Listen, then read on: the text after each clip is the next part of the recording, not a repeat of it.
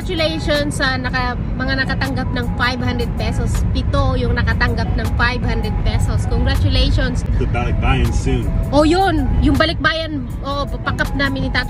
Good morning, Philippines! Ayun. Ngayon na ay ano, umiyak ako maghapon dahil nakaramdam ako ng separation ang shy, anxiety kasi first day of school ni Gabriela. First time na nahiwalay sa akin. So, ano nga yung gagawin natin, Tatay Ging? Yo, we're gonna go pick up the gingot. Yan. So, Rapido. Rapido daw. Ayan. so, pick up Not namin now, si right Baby now. pick up na namin si Baby Gingot. Ayan. So, yay. Balahun. Ayan, tingnan nyo guys, maga yung aking mata dahil hindi, akala ko ay ready na ako mahiwalay sa aking anak. Pero, hindi pala.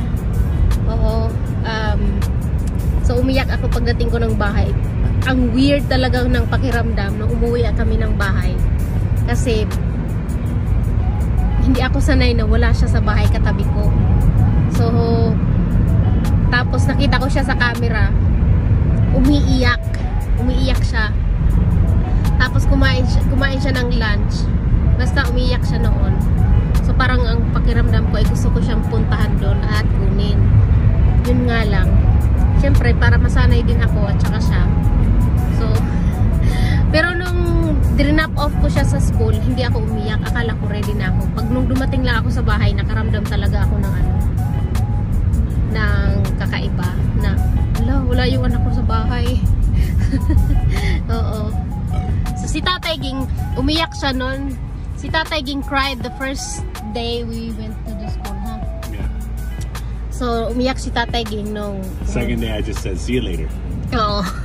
So, se se second day, sabi, sabi niya, okay, bye, ready na, ready na si Tatay Ging, hindi na siya umiyak. Ako yung umiyak. Oo, grabe yung pakiramdam ng parents kapag bagong parents ka lang, no? No? Grabing, um, andito pala. Ayan. Andito palan. Andito pala hinanap, Ayan. hinanap ko tong ah, Ayan ang tripod kapana. ko. Hinanap ko siya, dito pala sa... Na. Andito pala siya sa sasakyan. Ayan. Kaya hindi stable yung video. Ayan, okay na. Ay, nako. Buti na lang itong isang to. ay very supportive. No. Tapos nung nakita niya ako umiyak, niyakap lang niya ako. oh, very supportive at very pa- patient si Tatay Jim. Very supportive. So, um, You know who I'm not supporting? who? This guy in the red car. He's taking forever. He's taking his time. He's probably texting or something. Yeah, we got a kid to pick up, dude. Uh, ayan, so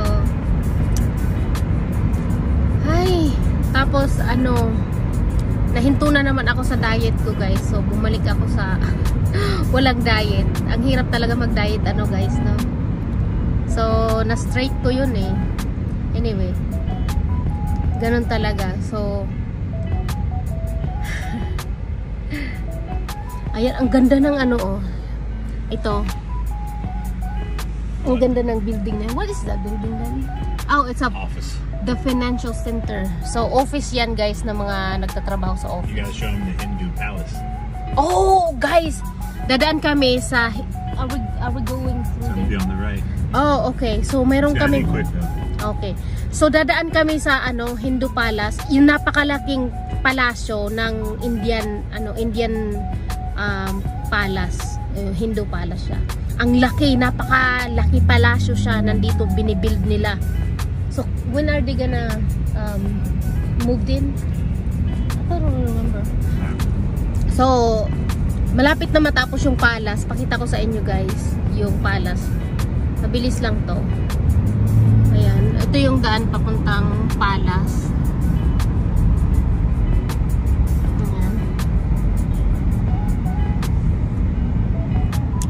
Malapit na tayo sa, sa palasyo. Palasyo.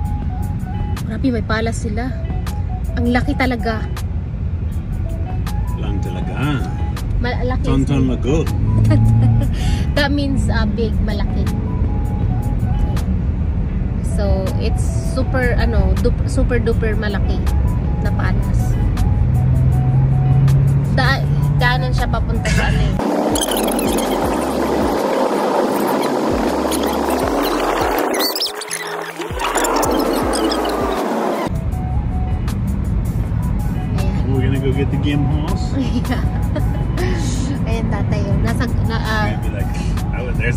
You missed it. Oh, you know, yung palace, guys. Ay, yung palasyo. Nakikita nyo, ang laki talaga ng palasyong yan, guys. Oh, yan, oh. Can't see it now. Yeah, they can. Oh my God, ang laki, di ba? O, paikot yan eh. Oh. Ayun, ang laki. Oh, yung nakikita nyo, gan ganyan kalaki, guys. Oh. Hanggang dito, nakikita nyo, malayo na kami. Ganon kalaki yung palasyong yun. Di ba, ang laki? Grabe. Oh my God. Oho, malapit na kami sa school ni Gabriela. So, nag, ah, nag-share lang ako guys kasi hindi ako nakapag-post ngayon. Dahil, yun nga, very emotional si Nanay Ging. About sa ano, sa first day of school ng aking anak. Ah, congratulations pala dun sa Paladun San. Congr- congratulations sa mga nakatanggap ng 500 dollar ay 500 pesos. This is a recorded video. Yeah. Boring. So, congratulations sa naka, mga nakatanggap ng 500 pesos. Pito yung nakatanggap ng 500 pesos. Congratulations sa mga hindi nakaka- nakatanggap. May next time pa ho si Nanay. Ayan, pat patuloy lang po kayong um, magsubaybay. Makakatanggap at makakatanggap kayo niyan. Pra- promise ko yan sa inyo.